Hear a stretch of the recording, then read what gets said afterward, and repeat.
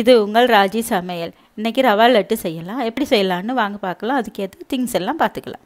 அரை கிலோ எடுத்திருக்கோம். தேங்காய் துருவி வறுத்து அரைச்சி வச்சுருக்கேன். பேரிச்சம்பழம் எடுத்து வாஷ் பண்ணிவிட்டு சின்ன சின்ன குட்டியாக கட் பண்ணி வச்சுருக்கேன். அப்புறம் முந்திரி பருப்பு ப்ளம்ஸு கடலக்காய் பருப்பு வறுத்து வச்சுருக்கேன். அப்புறமா ஏலக்காய் பொடி. இது பால்டீன் கொடுக்குறேன். பாத்திரம் சூடாயிடுச்சு. நாங்கள் ஆல்ரெடி வறுத்து வச்ச ரவை தான் போட்டுக்கலாம். சர்க்கரை போட்டுக்கலாம்.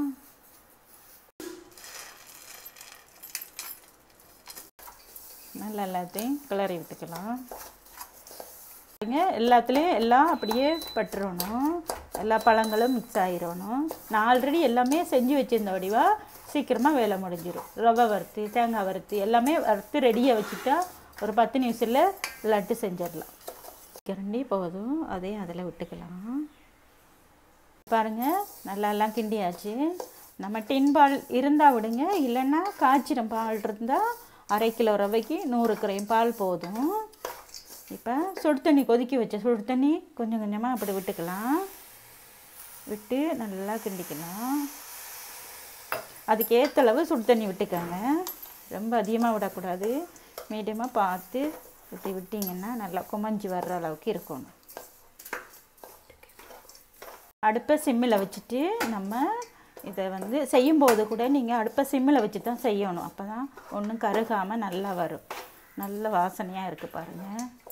இப்போ வாங்க செய்யலாம். அப்படி செய்யலான்னு காமிக்கிறேன். எப்படி உருண்டை பிடிச்சிக்கலான்னு. பாருங்கள் தண்ணியில் கை வச்சு தான் நம்ம ரவா லட்டை பிடிக்கணும். ஏன்னா அது சூடாக இருக்குமில்ல? எடுத்து இந்த மாதிரி அது சூடாக இருக்கும்போது பிடிக்கிறண்டு வடிவாக ஆற வச்சிங்கன்னா பிடிக்க முடியாது. சூட்டோடு பிடிச்சா தான் நல்லா வரும். பாருங்கள் இப்படி உருண்டை பிடிச்சிக்கலாம். பாருங்கள் இருபத்தஞ்சி உருண்டை பிடிச்சிருக்கோம். அரை கிலோ ரவையில் இருபத்தஞ்சி உருண்டை பிடிச்சிருக்கோம். நீங்கள் வந்து சின்னதாக பிடிச்சா கூட வரும். நிறைய பெருசாக பிடிச்சா கம்மியாக வரும். சின்னதாக பிடிச்சா அதிகமாக வரும். ரவா லட்டு ரெடி ஆயிடுச்சு இது ஒரு ஈவினிங் ஸ்நாக்ஸு சின்ன பசங்க பெரியவங்க எல்லோரும் சாப்பிட்லாம். நல்ல ஹெல்த்தியான புட்டு.